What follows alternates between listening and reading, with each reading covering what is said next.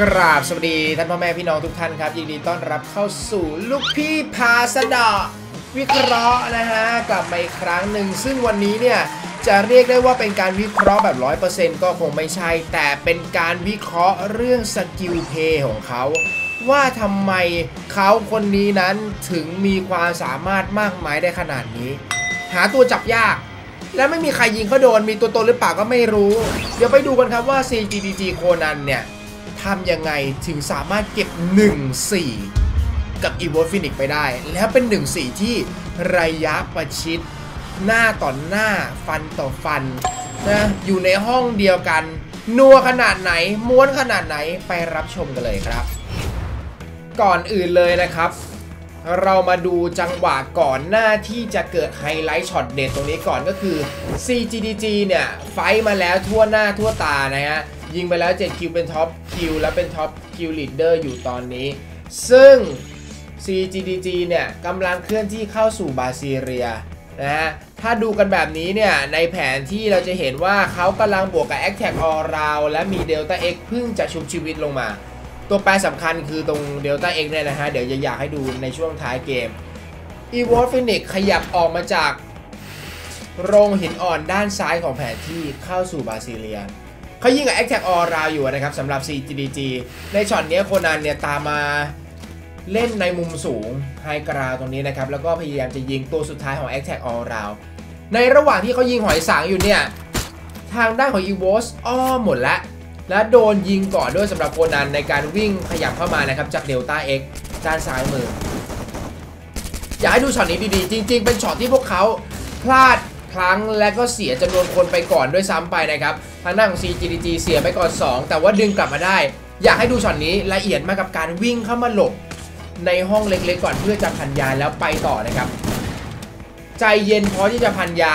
2 กล่องแล้วไปต่อแล้วดูครับ ยิงน็อกดาวน์ไปก่อนเลยหนึ่งนะฮะแล้วม้วนโคโน่ออกมาสะบัดยิงหัว แล้วม้วนอีกทียิงนั้นได้กับโมชีไปได้ ปิดไอวอลครับ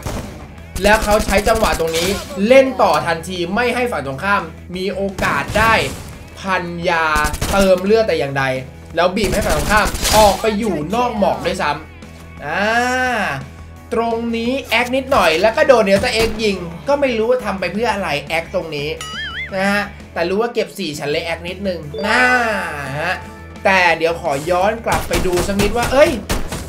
จังหวะที่เขาทำมามันฟลุก หรือ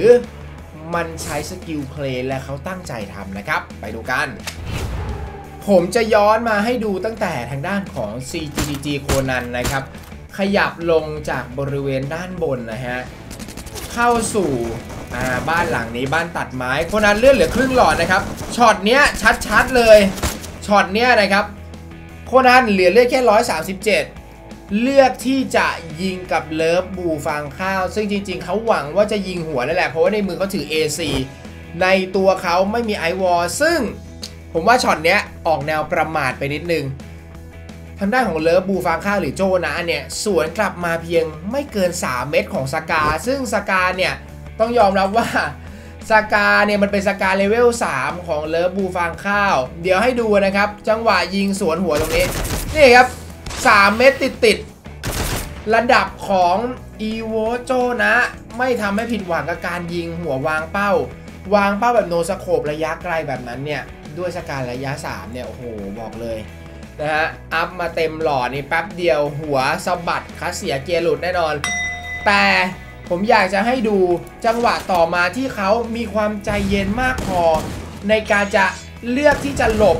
ฉากหลบเข้าไปในห้องนี้ก่อนแล้วเติมยาถึง 2 กล่องนะครับ แล้วเดี๋ยวดูช็อตแรกความคมของเขา ให้ดู ยิง แก้แค้นเลิฟบูฟางข้าว